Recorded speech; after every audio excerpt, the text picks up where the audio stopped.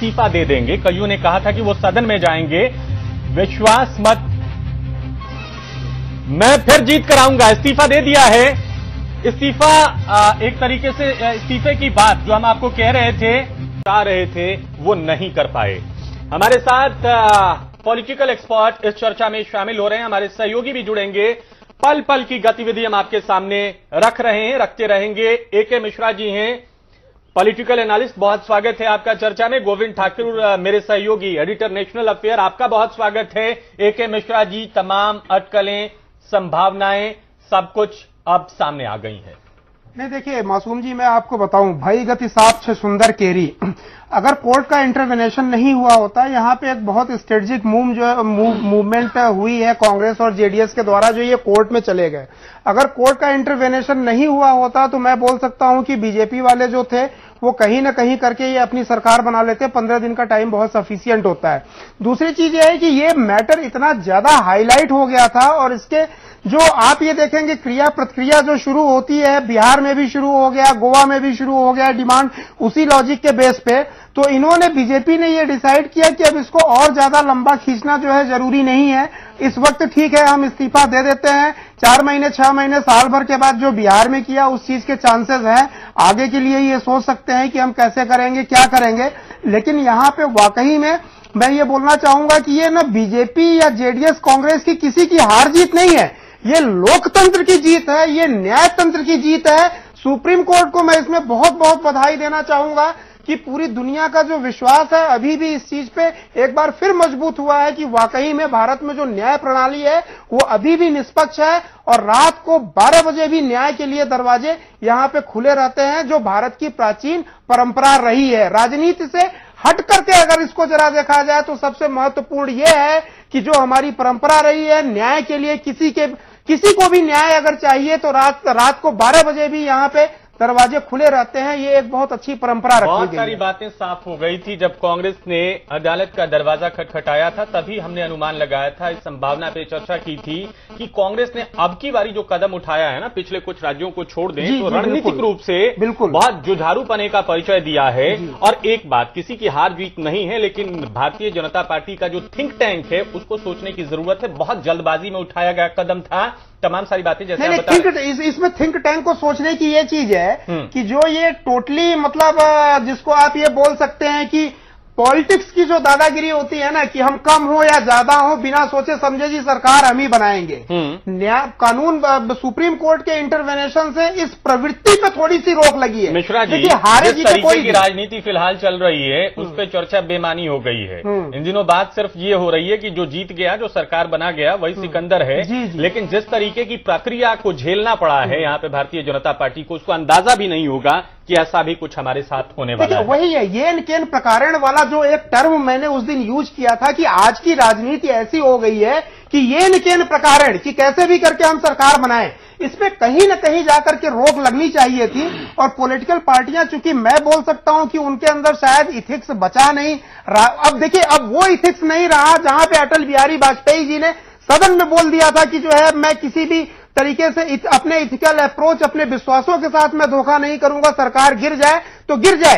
ये वही भारतीय जनता पार्टी है जस्ट एक पीढ़ी पहले आप देखिए पूर्व प्रधानमंत्री का यह विश्वास था और आज की डेट में जो भारतीय जनता पार्टी है उनके इथिक्स में कितना चेंज आ गया है कि ये न केन प्रकार हर जगह हम ही बने। एथिक्स बैकफुट पे है अब क्या होगा? देखिए सेंटिमेंटल भाषण आगे की राजनीति पे हमें बात करनी है नैतिकता की बात करेंगे तो राजनीति में आज के दिनों में अगर नैतिकता को लेकर बैठते हैं तो बहुत सारे मुद्दे हमारे से छूट जाएँगे क्योंकि नैतिकता बहुत नेपथ्य में जा चुकी है।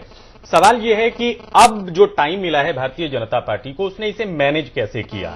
सब कुछ अप्रत्याशित था भारतीय जनता पार्टी के लिए। कल अचानक से कोर्ट ने, माननीय कोर्ट ने ये फैसला दे दिया कि आपको इतनी देर के बाद बहुमत साबित करना है। वो नहीं हो सका। भारतीय जनता पार्टी ने सोचा कि जाते जाते भी कुछ लाभ ले लिया जाए और उसी की स्क्रिप्ट रची गई। वही येदियुरप्पा ने विधानसभा के पटल पर रखा।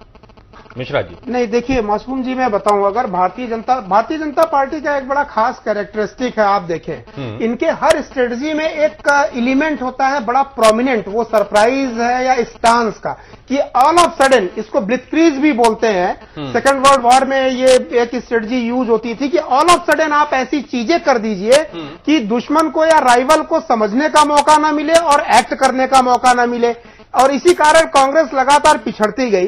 अब की बार मुझे लगता है कि माननीय सुप्रीम कोर्ट ने ये एलिमेंट ऐसे अच्छे तरीके से यूज़ किया कि भाजपा की जितनी प्लानिंग थी वो धरी की धरी रह गई। इनको टाइम भी नहीं मिला और जो प्रोविज़न सुप्रीम कोर्ट ने दिए कि भाई इनको सुरक्षा मिलनी चाहिए, जितने विधायक हैं, इन कैमरा जो है, सारी चीज़ें होनी चाहिए, जो एक्टिविटी होनी चाहिए तो इसमें जो बीजेपी की स्वच्छंदता है या किसी और पार्टी की जो स्वच्छंदता है, वो खत्म हो गई और उन्होंने अपने हाथ पैर जो है घसीट लिए जो लगातार वो पसार रहे थे वो बढ़ा रहे थे मेरे ख्याल से अगर माननीय सुप्रीम कोर्ट नहीं आता और राजनीतिक तरीके से चलता तो मुझे लगता है कि ये वही जो लूटतंत्र तो टाइप का भी आती हाँ, अड़चन तब भी आती हाँ एक एक, एक बात मिश्रा जी की बात मैं जोड़ दूँ कि चाणक्य की जो चाणक्य नीति कहा जाता था कि अमित शाह बहुत बड़े चाणक्य हैं हाँ। किसी न तरह से वो सरकार बना ही लेंगे।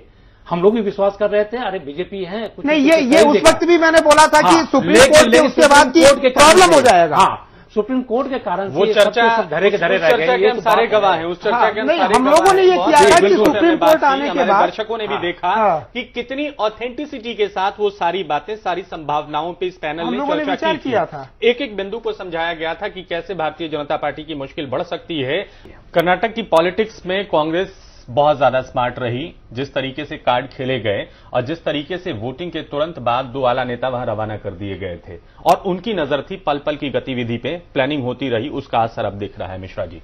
नहीं देखिए मासूम जी मैं आपको बताऊँ हालाँकि गुजरात इलेक्शन जब हुआ था और गुजरात इनका गढ़ था केवल सात आठ सीटों से इन्होंने मार्जिनल विक्ट्री ली थी। हम्म। आप ही के चैनल पे मैंने एक इंटरव्यू दिया था उसका टाइटल भी मैंने यही रखा था no more clean sweeps by BJP from that day यानी गुजरात इलेक्शंस के बाद ही मैंने डिक्लेयर किया था कि अब दिन पर दिन बीजेपी के लिए जो रास्ते हैं विजय के वो मुश्किल होते चले जाएँगे।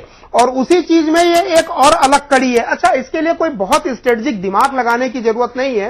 ये सिंपल सा फंडा है कि नेचुरल वियर एंड टीयर का जो कॉन्सेप्ट होता है दो साल ढाई साल में आपका जो कैरिज्मेटिक अट्रैक्शन होता है ना वो खुलना शुरू हो जाता है ढीला होना शुरू हो जाता है।